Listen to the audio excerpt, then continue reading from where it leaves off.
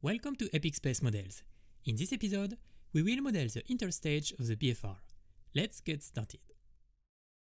Since the four grid fins are using exactly the same mechanism, we are going to leverage this symmetry. Indeed, we will draw only one quarter of the design, then repeat it four times to create the rest of the model. So first I create one quarter of the interstage, then I insert the grid fin mechanism that I designed in the previous episode.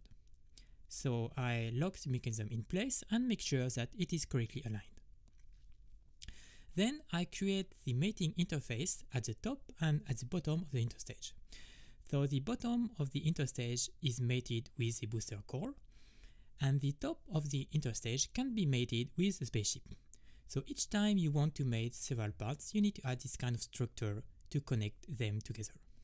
And when you do that, you want to make sure that you are not creating new problems like adding some new structure that overlaps with existing one. Especially at the top of the interstage where you have the fin hub, you don't want to add some structure that is going to overlap with this hub. Now that we have the mating interface in place, the next step is to cut out a hole on the side of the interstage so that the hub of the grid fin mechanism can go through the wall and connect with the grid fin at the outside of the interstage. So each time you want to have two parts rotating with respect to one another, you need to have some clearance between these, these two parts. So the first time I designed this mechanism, I didn't put enough clearance between the hub and the interstage. And after I 3D printed it, I had to widen the hole manually in order to have enough clearance for it to move. So unfortunately, I don't get the clearance right 100% of the time. Now, the next thing to do is to add some structure to restrain the hub so that it cannot move in the horizontal plane. And to do that, I add some structure to the interstage, which acts as a kind of stopper, and this prevents the hub from going any further along its axis. Okay, now we have to do something for this poor servo motor at the bottom which is not attached to anything for the moment. So this servo motor has to be bolted directly to the interstage. So to do that, I added a mount plate, then I inserted a bracket, and once I have this bracket in place around the servo motor, I can use it as a reference to know exactly where I have to drill holes in the mount plate so that I can lock the servo motor in position using screws. So this is a good practice when you're doing this kind of design is to have first the bracket in place and use it as a reference to know uh, where to put the screws. So now we have to do something for the push-pull mechanism, which is for the moment going right through this mount plate.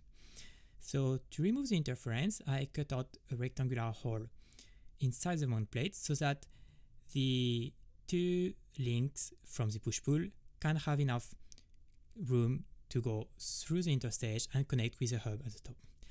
But by doing so, we found ourselves with this triangular section at the bottom of the mount plate, which is very loosely connected to the rest of the interstage. So to prevent it from breaking, I add some reinforcement structure on both sides, and this provides enough strength and rigidity for a viable design. Now we still need to add one more structure to fully constrain the hub in the horizontal plane, and this will be done by creating a pillar at the center of the interstage. So this part finally constrain the motion of the hub in the horizontal plane, uh, left, right, and towards the center. So when we will put this mechanism together, we will first insert the four grid fin mechanism inside of the interstage, then insert the pillar in the middle, and finally lock the pillar in position by inserting a screw from the bottom of the interstage.